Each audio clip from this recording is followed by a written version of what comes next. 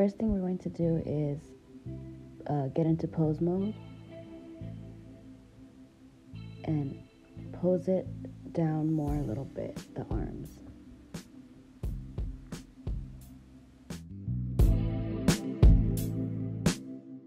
And then we'll just go back into object mode and then hold on to the body and export it to an OBJ.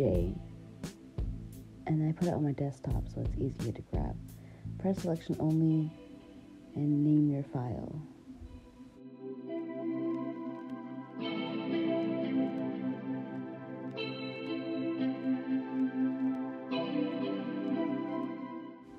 and then you're going to load it into Marvelous Designer. And then you're going to want to start creating your top. So I pressed that little polygon button up there and then I just started placing points around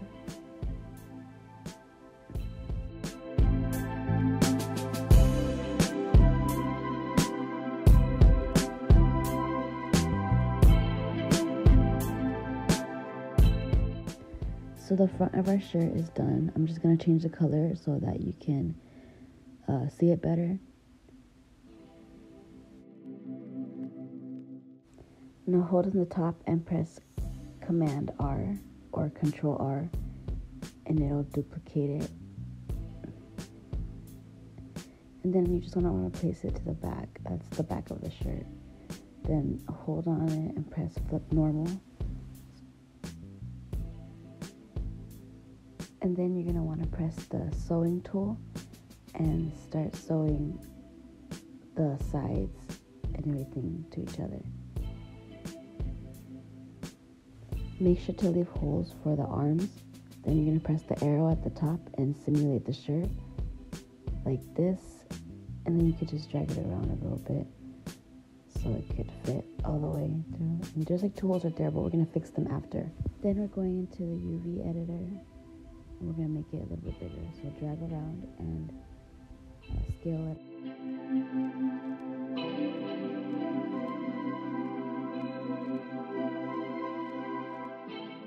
So basically I just grab the grab tool and I just drag it out a little bit. Just enough to take off the holes. And then go back to your simulation. And now we're going to simplify the mesh so we're gonna go down there, press remesh, and it's gonna clean it up more. See now it looks more cleaner. And go sculpt and cover those holes up again.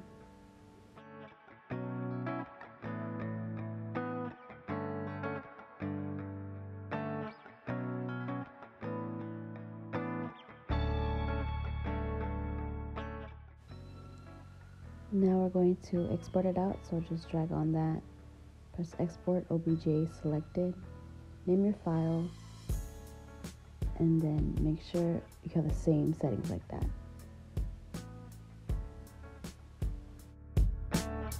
Then we're going back to Blender and we're going to import that mesh. Import OBJ, press your mesh, and it's gonna go. And then we're going to uh, rig it and press the bones and then the mesh press body layer and bind to armature on Avastar add-on tool. Then we're going to export it out as a DAE file.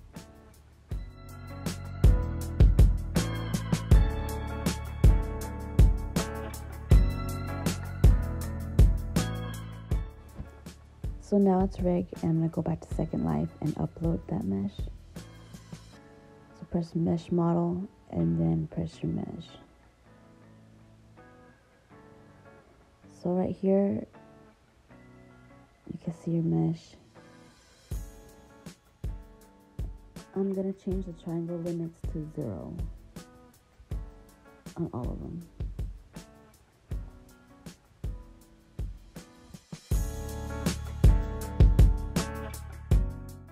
Check if it's rigged if it's and press include skin weight if it's not ready checked.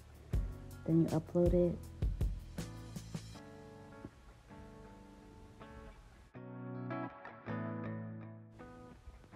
So now it's in your objects right there. It's gonna pop up.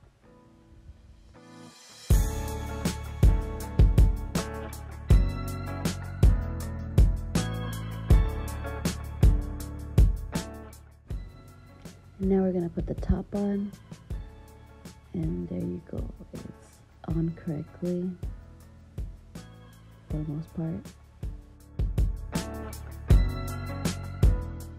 Now you need to make a texture. So go to Photoshop or GIMP and open up that UV that they um, give to you when when you first save your mesh. It'll give you um, the diffuse PNG or a JPG.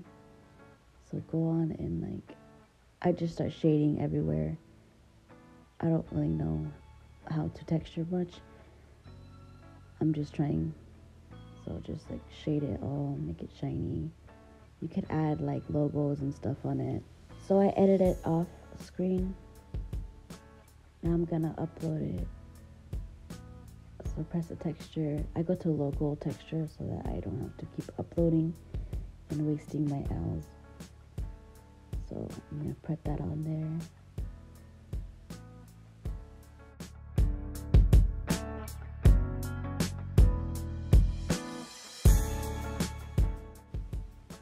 So now you have your shirt.